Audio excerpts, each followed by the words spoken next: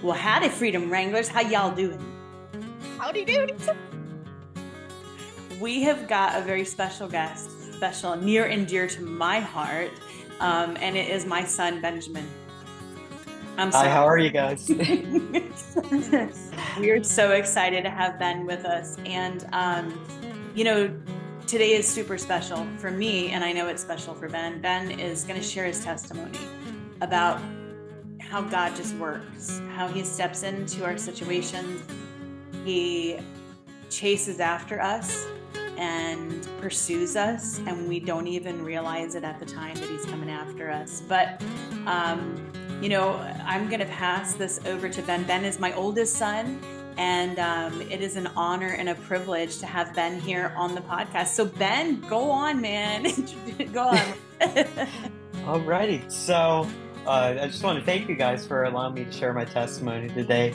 Uh, but I'm just going to give a little backstory, uh, you know, a little history, you know, as to, you know, my past. Uh, so, you know, at age seven, I was diagnosed with uh, Duchenne muscular dystrophy. Uh, so, you know, that was really a shock to me, but, you know, God, I know He has plans for that. But, uh, you know, I was raised in the church my whole life. I was in the worship team. I and my parents dedicated me when I was a child. I and you know, I know God has a certain, uh, you know, He really has ordained a certain things for me. Uh, but you know, with dealing with, uh, you know, my DMD, I there was a lot of things that came with it, and you know, pain was one of those things, and uh you know, I at a point in my life, I turned to things I shouldn't have turned to, like medical marijuana, to help get rid of the pain. And, you know, that ultimately led me down a, a bad path because uh, I, you know, started using it more than just to, you know, get away from the pain. Because, you know, there was a point in my life I was, you know, playing the church part. You know, I wasn't fully in. I was just, you know, putting on that, you know, church outfit, you know, in a way, you know, on Wednesdays and Sundays, just playing the part. Uh, and, you know, and ultimately hid things, you know, secretive things and had a secret life in a way. Uh, but, you know, with 2020, you know, a lot of things happened, you know, not only with COVID, but uh, I, you know, my pain certainly, you know, was elevated. And, you know, I'm sure I'm not the only one, but you know, I felt alone, uh, and like there's no one there with me. Uh, but you know, I turned to that, and then you know, years later, when I was able to you know buy alcohol and things like that, you know, I was turning to that as you know another escape uh, to you know just get away from life and put life in a box and you know forget about it. And you know, I was addicted to that, and you know, it just got me to a point I was so alone. And honestly, I'd turned away from God. You know, I felt like God hadn't, you know, wasn't helping me and wasn't going to be able to, you know, be there as a friend. Uh, and it was late 2020. I'd reached a point where I had ultimately started reaching people in uh, a community that, you know, ultimately wasn't the right place to find acceptance in. Uh, you know, and unfortunately, that was, you know, the LGBT community. And I was looking for friendship and acceptance in that way. And, you know, that ultimately led led me down a worse path. Uh, and, you know, I was doing things I certainly wouldn't, God wouldn't have approved of and doesn't.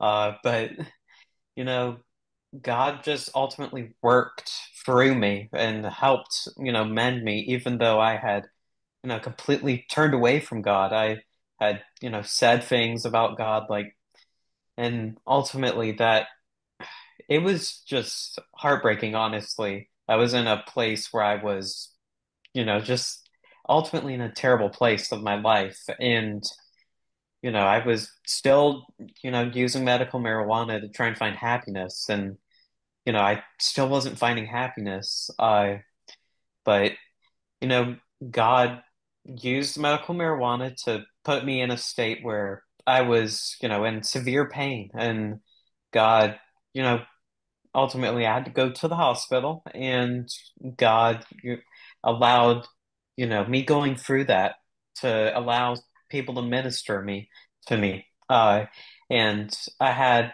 a nurse; she was taking care of me, and uh, you know, one day it was uh, a day before Passover. Uh, so this is right before Easter.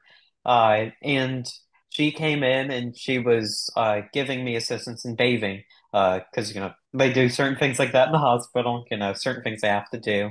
Uh, and she asked me if it's okay if she played some worship music. And I was like, sure, you can.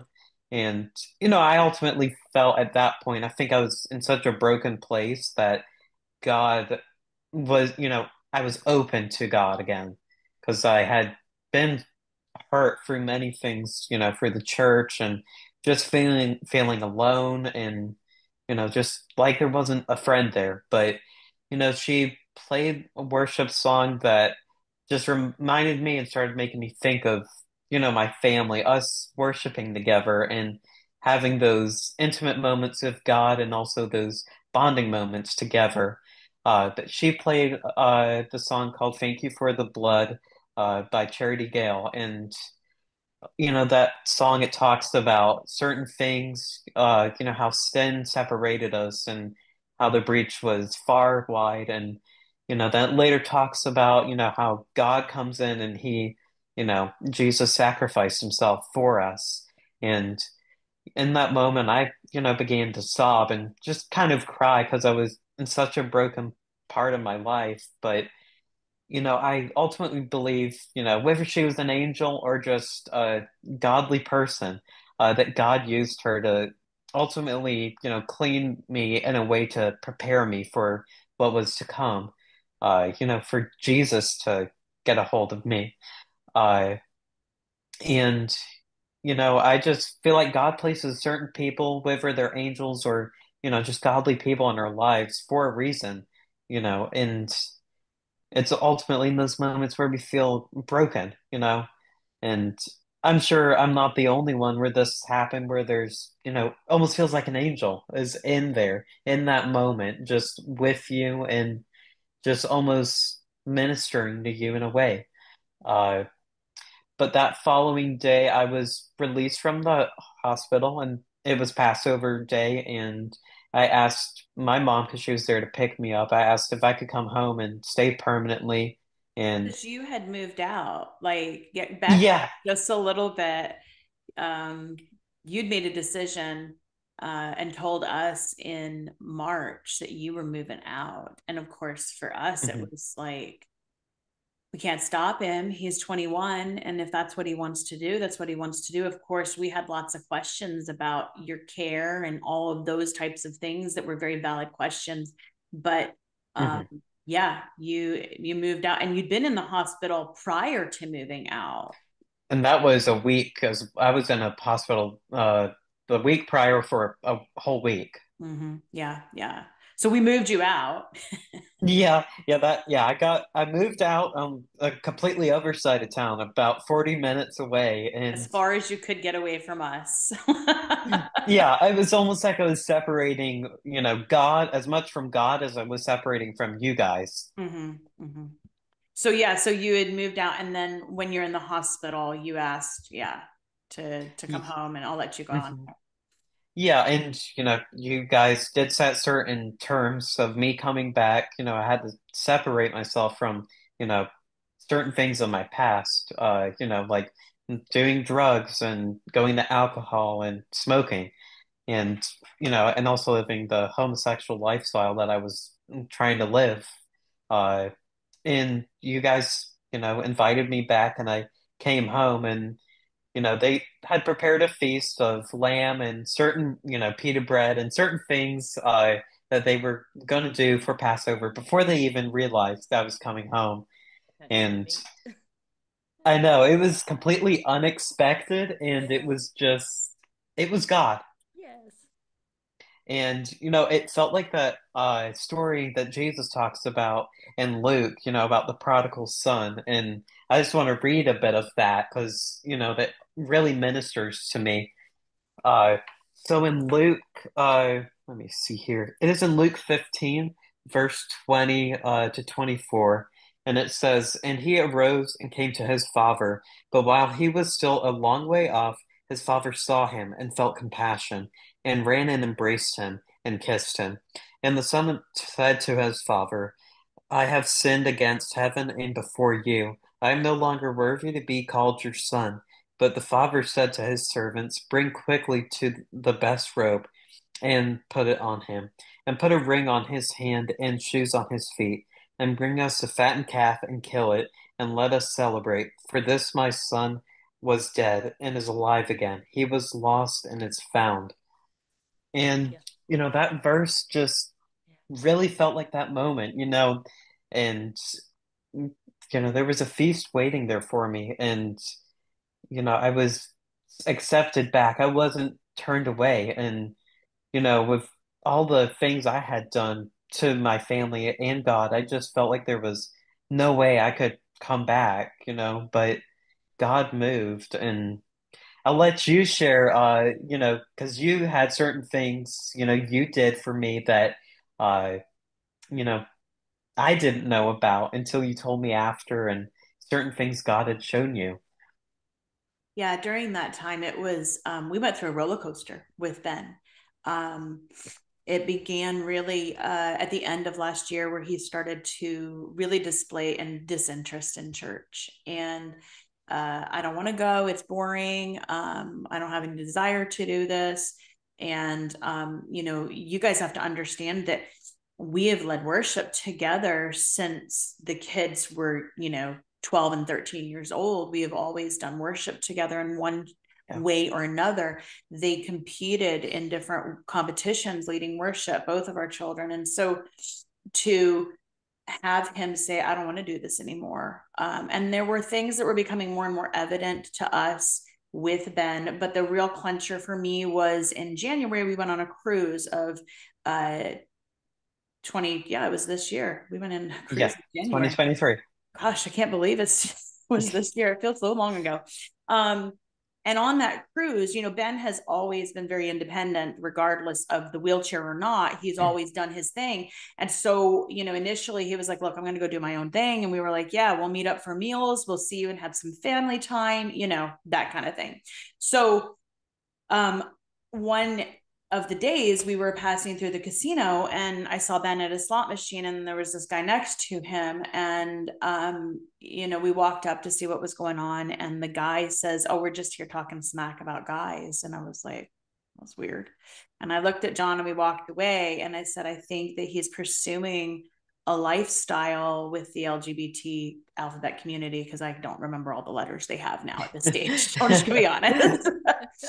so um, and he was like, Do you really think so? I said, Yeah. And then progressively on that trip, Ben was drunk more and more. Um, he was going to the after parties and stuff. And we came into his room one evening just to check on him because uh, we hadn't heard from him. And he was just like literally passed out. He'd thrown himself off of his wheelchair, was half in the chair, half on the bed, just very, the whole trip, he was drunk. That's just the truth um, the entire trip. And we were just like, this is a problem. It's actually ruining our vacation as well. And so, you know, we addressed that when we got home. And then things began to escalate where he was going out, saying he was going to one place and, and was going to another. And, you know, mm-hmm. there was a lot of um, deception that was going on. When we had pursued medical marijuana, Benjamin was underage. And I always believed in my heart if someone needs something like that, I'd always been a proponent to say yes if it helps them deal with their pain, but they're not addicted to it. I believed this lie that's out there that you don't get addicted to it, but you do get addicted to marijuana. Yeah. And um, you know, Ben was using more and more, and we would we could tell like that he was using it more and more. He was very like just not here that's the truth. He was a very yeah. physical body was here, but mentally he was not. And um, I instantaneously began to pray because I knew he was going places he shouldn't be. I knew that he was getting involved in things that that he knew was wrong. But I also knew that preaching at Benjamin was not going to be the answer. Now there were moments that I was like, mm-hmm. Ben, you think God is pleased with you? And he would just roll his eyes and whatever. But at 21, it's like he's at an age of accountability. And I told him at one point, mm-hmm. I looked at him and I said, You're responsible for your salvation, not me. You cannot get to heaven on my coattails. It just won't happen. Mom serves God for herself. She doesn't serve God for you or for anybody else in this family. Yeah. And so during that time, the Holy Spirit prompted me to go into his room when he was not here and lay in his bed and pray. The Holy Spirit prompted me that when I folded his clothes after washing them, to pray over his clothes, to pray a hedge of protection around him, to anoint his pillow with anointing oil and pray over it. He didn't know, but God knew. And I really kept pushing God in the way that go after him, God, however you have to. And then Ben told us that he wanted, he came to us and he told us that um, he believed that he was gay and he was going to pursue that lifestyle. And there was nothing we were going to say that was going to change that. Um, to which my response was, I know you're not. You're making a choice here. Um, yeah.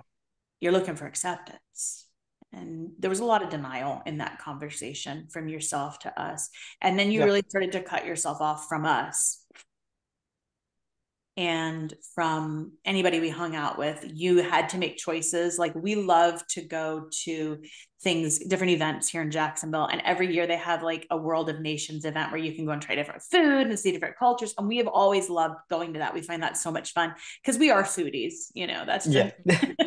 that's the fun we have.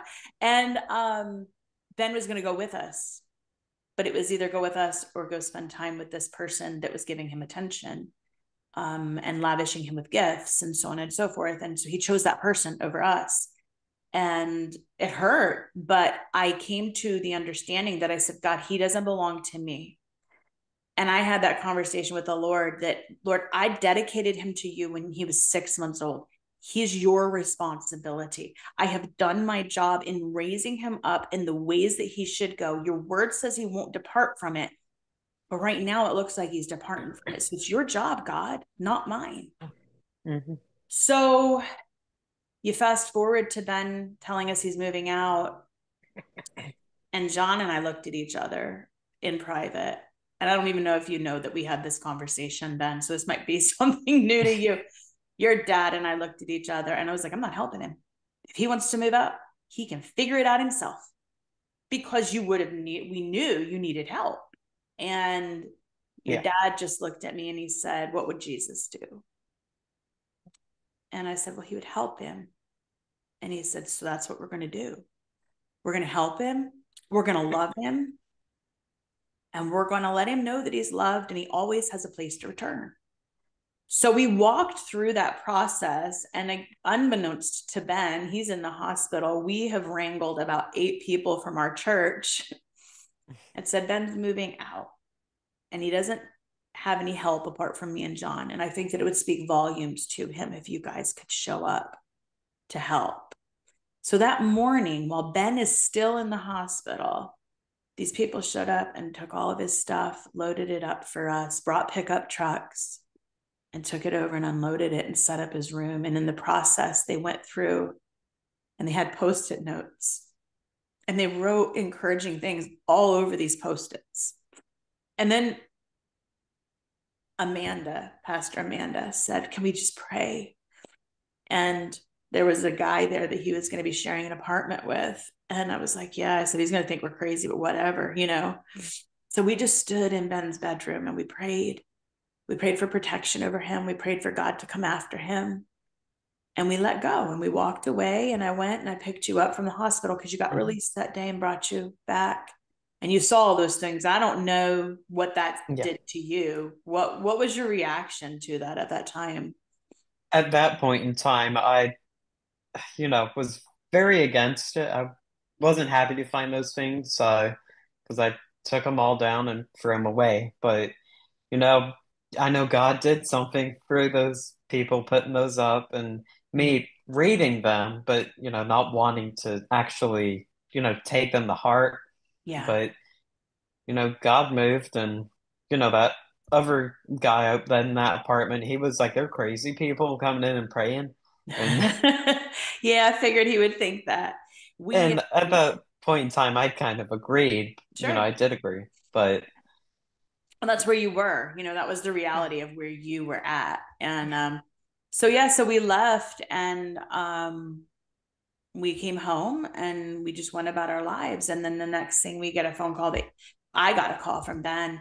I'm really not well, and you know, he had been lying to us. He hadn't been buying marijuana himself. Someone else was getting it and he was using it. And um, medically, the THC inside medical marijuana can be so strong that it builds up in your system very rapidly and can make you extremely sick. And that's what was happening to Ben. He was having THC toxicity, and it wasn't the first time he'd had it. So he told us that he was taking himself to the hospital and tough love. It was really, really hard. We said, okay, let us know where you're at mm. um, and we'll come and see you but we're not staying overnight like we've done in the past and so we did that. We went and we saw him and we told him we loved him and then we left. And then i found out that he'd been moved to another ward. So i went to check on him on that ward. And um, it was hard. It was so hard uh, going in there that morning and seeing him in the state that he was in because he was a mess physically. Like, mm-hmm. I don't know when the last time you was you'd shaved or your hair had been brushed, your teeth when you'd had a shower. It was several days since you'd had a shower. Yeah. And um, it was like everything that was on the inside of you, all of the sin, all the ugly was manifesting on the outside at that stage and my heart broke you know it literally broke and i walked out of the room and i had to take a moment and i called your dad and and then i came back and you said to me i think god's trying to get my attention. And i was like what makes you say that? And you told me well every time i try to play secular music chris tomlin keeps playing. And i don't want to listen to that. And I was like, well, he has a way of doing things like that. And I just kind of left it there. And I said, you know, he loves you. And I did quote Romans 8, 38 and 39, letting you know that nothing can separate you from the love of God. But you made a statement and you said, but I have said and done things that I don't know that he can forgive me for. Yeah. And, and that's how I felt at that point in time that I had said things and done things against God. And, there was no way he'd take me back. But you know, he forgives anything you do, and you know, I think those are thoughts that the enemy plants in our mind. But you've done X, Y, and Z. You God's never going to take you back. What sin you've done, you know, are unforgivable. But you know, He forgives anything. You know, from in His eyes, all sin is the same. Whether you've lied, uh, you know, cheated, murdered, whatever you've done, God mm-hmm. can forgive you. Absolutely. And, you know, and I think also the way you guys went about, you know, things. You didn't preach at me. You, you know, did things that Jesus would have done. Because unfortunately, majority of the church, I think, they have that mindset, oh, we need to preach the gospel at them, but it's we need to do certain acts that Jesus would have done. Mm. And you know, Jesus is the prime exam- example of what, you know, we as Christians need to be doing. And I think many Christians forget that. You know, they just think, oh, we need to preach the gospel and tell them that what they're doing is a sin. But, you know, that isn't what Jesus wants us to do. But he does want to, you know, us to tell them about our their sins and but he wants us to do it in a different way than we, you know, think we should. Yeah. And that was the one big thing. Like we sat with our pastors and we shared with them everything that was going on. And their immediate response was love him. Mm. The answer is to love him through this. And that is the thing that the Holy Spirit kept saying to me and dad was love him through this. Just love him. Just show him my love. Do not reject him. I know it's frustrating, but just love him. And so we did that. And that same day in the mm-hmm. hospital, the Holy Spirit said, You need to wash his feet. And so I said to you, Ben, I don't know when was the last time you had a shower, but would it be okay if I got a warm washcloth and maybe washed your face and washed your feet. And you were like, no, no, you don't need to do that for me. You were embarrassed, basically. Mm-hmm. And I mm-hmm. said, no, because as a mom,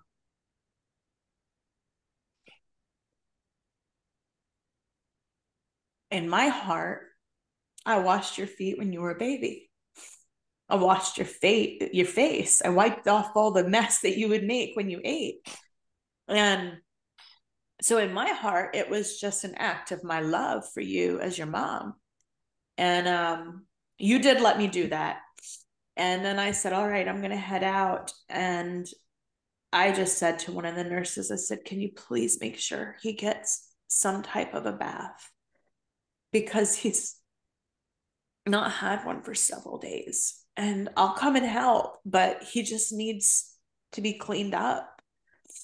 And um, that's when that nurse came in and did what she did, unbeknownst to me. I never once said I'm a Christian. I never once said my son's a prodigal, blah, blah, blah. None of it. And um, I walked in while she was doing that. I came back that day and walked in, and she's giving you this bath, and the music is on, and you were bawling, and I filled with tears and had to walk out of the room because I thought, first of all, let me give my son his privacy, but secondly, God's in the process of doing something here. Yeah. So I left and I called your dad and I said, God is doing it. And he said, What do you mean? I said, God is working on Ben so hard because the Holy Spirit had spoken to me when I stepped in that elevator that day. He said, The prodigal is coming home today. And he said, You already have the fatted calf, you've already prepared the feast, the celebration is set. Just be patient. And so that was what we did. And we brought you home on Good Friday. And you know, I didn't know my grandparents were coming over, but uh, my mom's parents they came over as well, and you know, we had had dinner. You know, my parents didn't really bring up you know my salvation, you know, coming back to God, but you know, my grandfather he just asked me, and he was like, "Do you want to give yourself back to God?" And do you want to, you know, invite him back in your heart? And so you know i did you know i accepted god back in my heart and i just felt in that moment an overwhelming amount of peace and joy in that moment. And i just i just thank god for everything he's done because you know i don't know where i would be if he hadn't come in and rescued me you know mm. where i was. Ultimately you know in kind of in the grave in a way. I was digging my own hole and God just picked me up out that hole and just saved me mm. and radically changed my life. And uh, I believe it was a couple months after that I got baptized, uh, right before Fourth of July that weekend. Uh, and so I got baptized, and you know he has done so many more wonderful things in my life than you know I can count. And you know, last no, it was this month. Uh, so I had recently quit my job last uh, month. Uh, you know, to pursue other things in God and you know ultimately get a break because I was feeling overwhelmed at work. Mm-hmm. Uh, and you know, I do get disability benefits from the government. Uh, and I called them and they were like, "You probably won't get it till January of next year." Because everything is delayed by two months behind that they look at. Uh, and you know, I didn't know this, but my dad saw it first because uh, he can check my account and stuff. But uh, uh, so I, I know stalkers much, uh, but yeah, I looked at my account and there was money from Social Security, and I was so worried. Yeah, praise be to God because I was so worried about how am I going to make ends meet for these three months that I won't have income for. Yeah, but you know, God moved and He's still moving in my health and He's moving in so many ways in my life, more than, you know, I can think or you know, count. You know, there's so many things He does in our lives that, you know, we can't count. Yeah, God is so good. And um, just to see you from darkness to light, to see you step out of, be pulled out of the pit. And it was by God Himself, you know, that just pulled course, you out of the yeah. pit. And for you to come back to Christ, recommit your life on Good Friday, Passover, and then on Sunday, Easter Sunday, because I'd asked you when you moved out, do you think you'll come to church on Easter? And you were like, yeah, probably not. Well, do you want to come to the house? Your friend is invited. You could have dinner with us that day. And you were like, I don't know, we'll see. But to see you from this place of no, probably not, to I'm coming to church on Easter Sunday. It was such an unbelievable resurrection Sunday of just joy and excitement because that's why Jesus died and he rose. Yeah. It was for mm-hmm. moments like that in everybody's life that he did it. And um, I just want to backpedal a little bit and give you an opportunity yeah. here, Ben, because there were some things that that ultimately led toward where you ended up. And I know that one of it had, you know, some of it had to do with pain, loneliness, and rejection. Um, but also you were tapping into some different things that a lot of young people tap into and have access today on their phones. So I want to give you the liberty and the freedom to speak to moms and dads from firsthand of yeah. what access kids have, even though you think you've got a grip on it.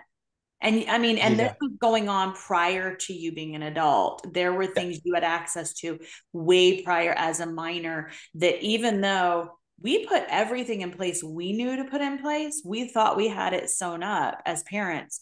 And then come to find out there were still things, there were still loopholes and workarounds. Yeah. So I just want you to share from that perspective to parents, to moms and dads today.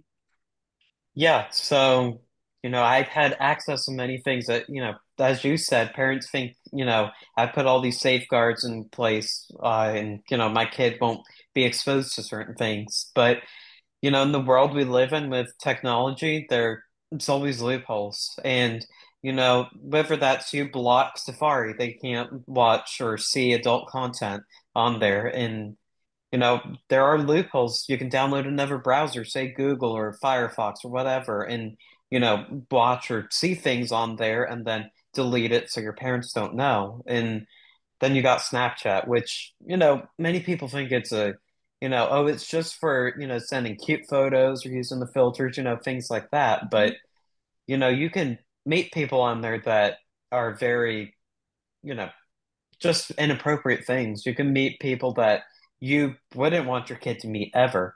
And you can, you know, send photos and other things that are inappropriate. And, you know, I was, you know, doing both of those things. And, and God just, you know, he, wants parents to ultimately be aware of what your kids are doing. Because you know even though the photos disappear after 24 hours or however long after you see it you know whatever but you know they're still out there. They're in servers stored until the end of time till god comes back. And you know i just think parents need to be more aware of what their kids are doing. And watching and other things like that. But i will say it's sad though because innocence in this world has gone at such a very early age for children.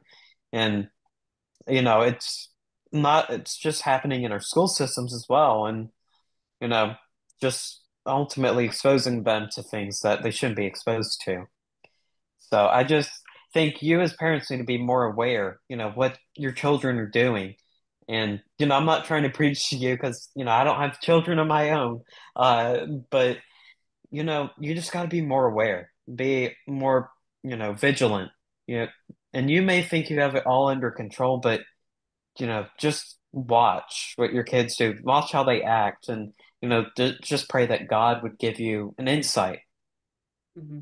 And I know that that's what the Holy Spirit did with me. He gave me insight. I know you must have hated it at times where I'm like, dude, I know you're doing X, Y, and Z, and you shouldn't. And I hadn't even seen anything on the phone, and you would be just like, you know, how does she know this?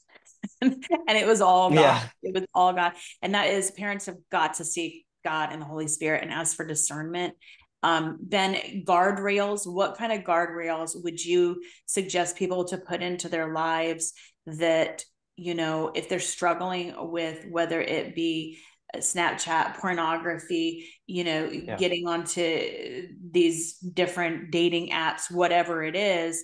What is your suggestion that someone that's battling loves Jesus but's mm-hmm. battling mm. that? What's your what is your suggestion for guardrails there?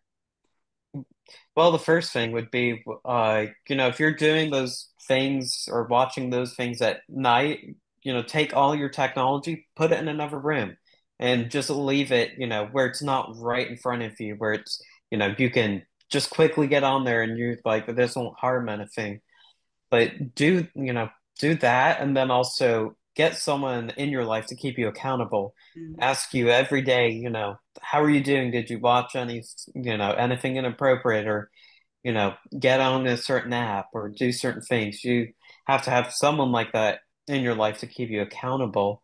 And then you know, also if you're able to get someone to put blockers on your phone or certain things like that, or you know, just get blockers put in place, you know, whether it's app restrictions or you can't download certain apps without that person putting in a passcode or certain things.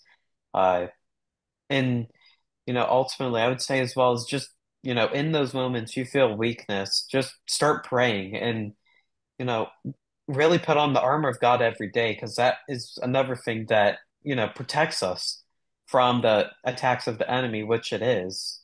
Uh, you know, him trying to entrap us in these, you know, lustful things ultimately. Yeah.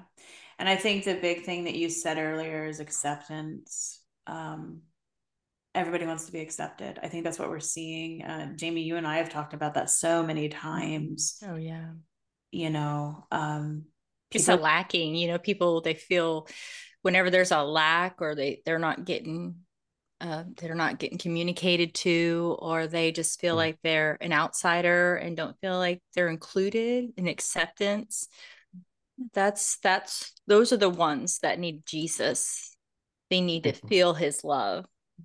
And but as christians too we do struggle we struggle with sin mm-hmm it's always there. And like you're saying, the the whole internet thing, oh my gosh, that that's the biggest pitfall for all of us. Yeah. Yeah. It is, yeah. You know, and Instagram as well. I mean, you can judge yourself by looking at someone and be like, I, you know, don't have any worth. I'm not as pretty or as handsome as them. Mm-hmm, mm-hmm. And then there's like the private, the secret DMs. I get those and I'm just like, who are these people? Weirdos? Like for me, it's just like a delete because it doesn't doesn't tempt me because I'm solid in my relationship with Christ, solid in my relationship with my husband. But there are some people that are lonely, that are desperate for somebody to like them. And so they get catfished on these sites. And catfishing leads to all kinds of things from blackmail to, I mean, inappropriate relationships, human trafficking happens out of that. There's just so much. But, you know, um, we as Christians, like you said, have to put on the armor, Ben. Absolutely. Mm-hmm. What would you say is one of your your go-to verses, Ben? Uh, well, my go-to verse, uh, you know, one that has really encouraged me through, you know, coming out of my, you know, sinful lifestyle, uh, is the one you mentioned earlier, uh, Romans 8, uh, 38 to 39. Uh, and you know it's where it mentions uh, that you know before that you know this is in Romans where Paul is talking to the Romans you know and uh, you know the Romans back then were kind of ruthless and did many things that you know like today but, yeah uh, and it says for I am sure that neither death nor life nor angels nor rulers nor things present nor things to come nor powers, nor heights, nor depths, nor anything else in all creation will be able to separate us from the love of God in Christ Jesus our Lord. Mm. Amen. That reminder that there's nothing that can separate us from Him. Mm-hmm. So, your heart, then, I know you have shared this with me, is to, is for that community to see them come to Jesus yeah, and you know, and I've seen some of that revival take place like in Texas where, you know, there was just a parade of hundreds of them, you know, not parading for, you know, their lifestyles, uh, but parading for God. And, you know, it's just showing that many of them are, you know, being broken of, you know, that lifestyle, which ultimately is a demonic presence that gets a hold of you. And, you know, I've watched this guy on YouTube. He has, uh, he goes out to these events and, uh, you know, he just preaches the gospel. And I've seen many people come up. Some of them are open to hearing God, but some of them, it's almost like they're possessed by a demon. And they are, you know, because they will say things that are, you know, are honestly demonic and, you know, can break someone down. But, you know, he just keeps preaching the gospel and, you know, he doesn't let that get to him. And, you know, I I know that community, they just need God because, you know, they can say, oh, it's not a choice. I was born this way. And that's not true because, you know, many parts of the Bible mention, you know, how it's, you know, meant to be a relationship between a man and a woman, not, you know, a woman and a woman or a man and a man. And, you know, that, you know, it just breaks my heart because, you know, I can now preach to those people because I know what it's like to go through that. And it's just sad seeing people that are like that and, you know, they do drugs, you know, they just seek pleasure in and happiness in places that they shouldn't be seeking it in. And the chains can be broken, and you are evident of that proof that those chains mm-hmm. can be broken. What would you say to Christians is the best way to respond to that community? It would be to love them because God is, you know, everything that Jesus talks about is love your neighbor, you know, love other people. And we need to love like Jesus loves instead of, you know, if you've seen those signs people have on the side of the road, you know, you're if you're sinning, you're going straight to hell, you know, like signs like that. That's not the way to reach people. And you know, we need to out of love, whether that's uh, you know, helping someone that maybe struggling with, you know, rent or other things, you know, if they're living a lifestyle that's not pleasing to God, we can help them and love them, but we don't have to accept their sin. Mm-hmm. and support their sin. And you know, that's what we need to do is just love people in that community that, you know, and I have heard this from many of them when, you know, I was for say at bars or other things, you know, they would say, I'm not, I don't feel loved. I need to find love in, you know, a certain place. And, you know, God has all the love that we need. And as Christians, we can be the ones that show that love. And you had an army, Benjamin. You had an army of people praying for you, sweetheart. I know I, mean, I did. We and... were just fasting and praying for you, and we just knew that God was going to touch your life. We just knew it. And I'm so glad that He got a hold of me. Yes. You know, within it was I was living that way for about six months, and He just got a hold of me so quickly. And you know, I'm just so happy that He got a hold of me because He has He has blessed me with so many things, and I'm just happy to have a friend like him in my life. He's he's the best friend that we could ever have, and um, I know that uh, for us the joy was unspeakable, you know, and um, learning to love through pain and to love like you've never been hurt is something that your father and I really had to work out. We had to walk it out. And um, it was our goal not just to be witnesses to you, but to be witnesses to, you know, your friend and to show them that, yeah, we might look like crazy Christians, but we love.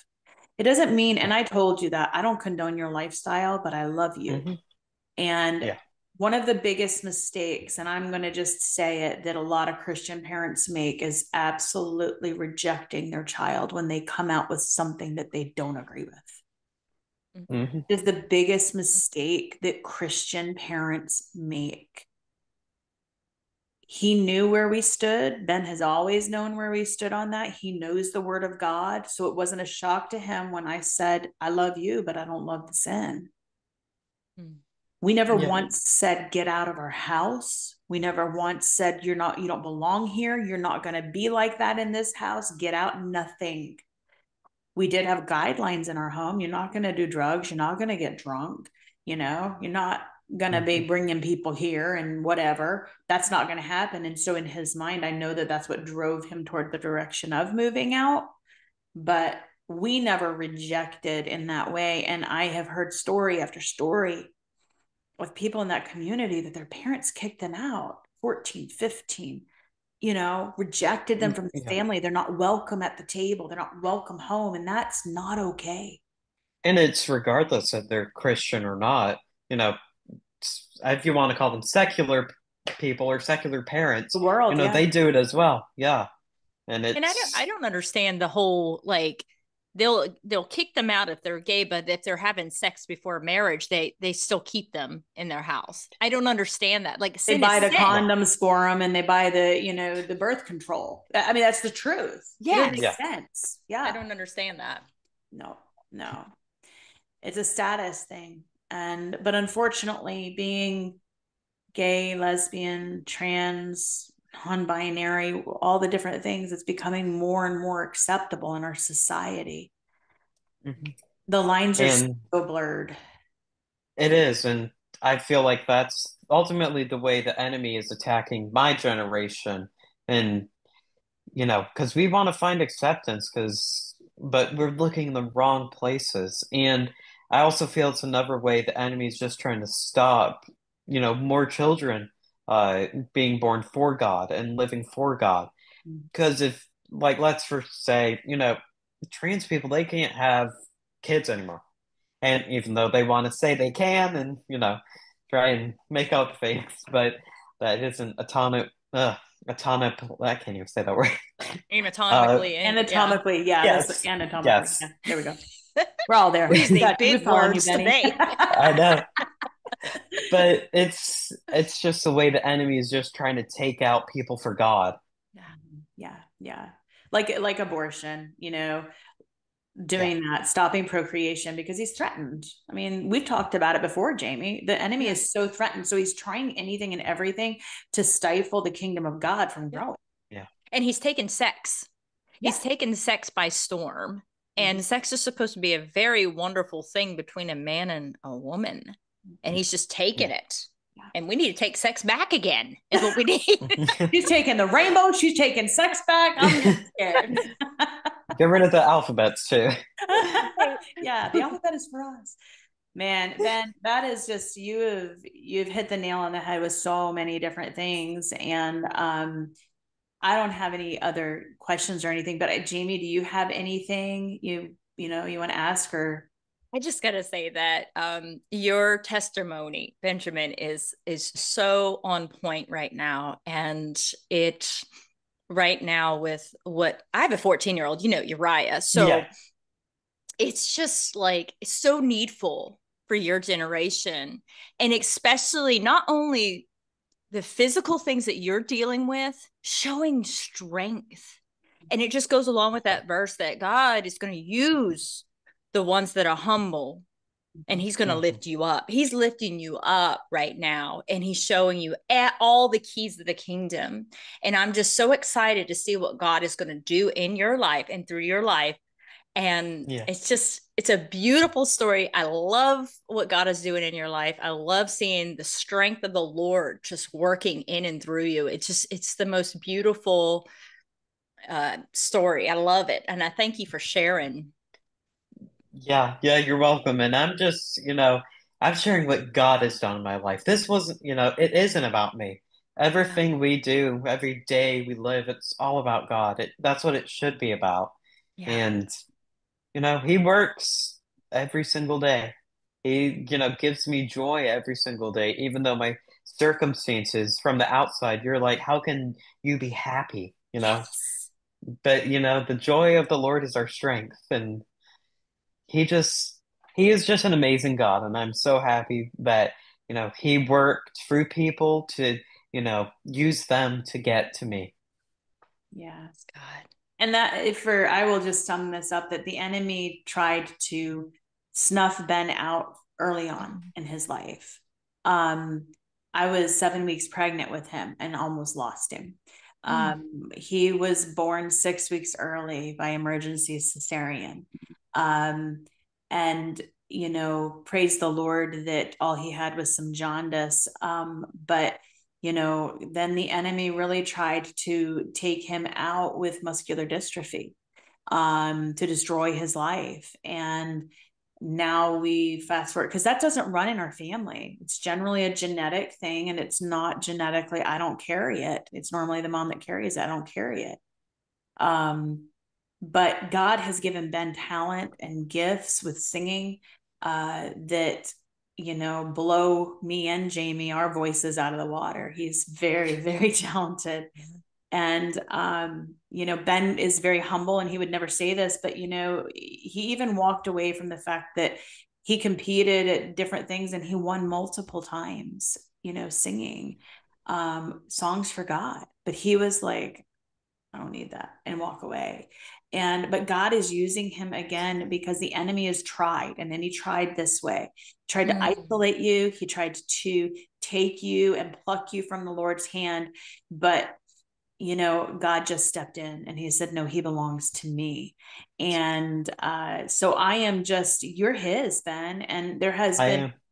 there have been prophecies and words over his life you know that he has he has a calling, an evangelistic calling on his life to tell others about Jesus. And I just think, you know, I'm, I know I'm your mom, but I think this is just the beginning of what God's going to do.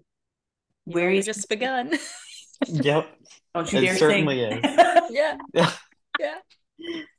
So God is good. Ben, we thank you so much. You. And we can't wait to yeah. hear sharing. how God uses you and takes you to the new levels that he's got for you. And um, Ben, if there's anybody that you know maybe wants to reach out, that's that's battling some of the stuff that they they want to know how to turn to Jesus, would you be open to somebody reaching out to you?